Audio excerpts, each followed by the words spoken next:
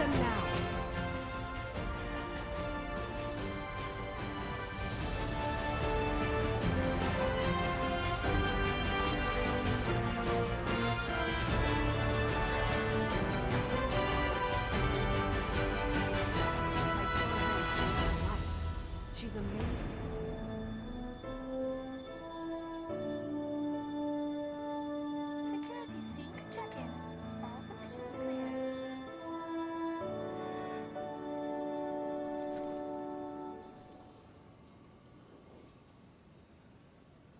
Have you on the team.